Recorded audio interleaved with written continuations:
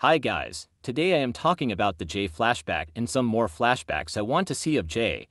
So in episode 7 of Ninjago Dragons Rising Season 2 we see this flashback between Jay and Cole. They are fighting over a video game controller and they accidentally make this noodle mark on the wall. Then they go together to get noodles from Master Chen. This is a very cool flashback.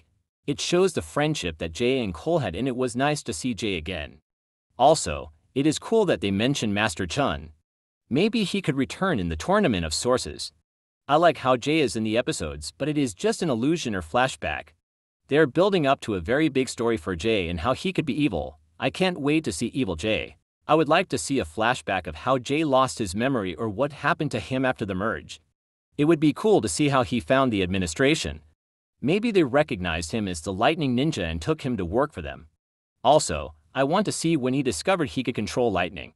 That would be a cool flashback for us to get in part 2 of season 2, maybe just some other random flashbacks like this. But yeah, this was a cool flashback and I hope we get some of the other flashbacks I mentioned. I would like to see some more Agent Walker scenes to before he becomes a villain or rejoins a ninja. But anyways guys that is all for this video, tell me what you thought of this flashback in the comments and thanks for watching.